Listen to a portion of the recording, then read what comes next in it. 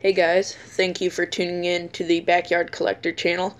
Today I'm going to be showing you my new Zippo lighter. And here it is. Let me get it out.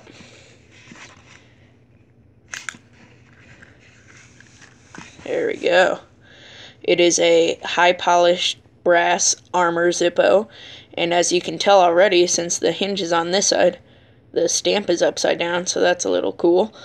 Um, as you can see, there's the armor symbol in the corner. It's really nice. It sounds a little bit different from a regular Zippo, but that's just because the case is thicker.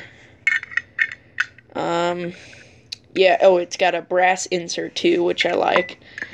Um, I just wanted to thank you guys for tuning in. I know I haven't been posting much. I will start posting more. So tune in for that.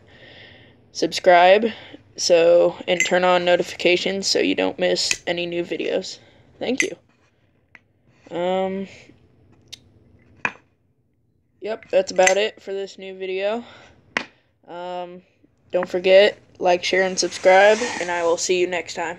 Bye.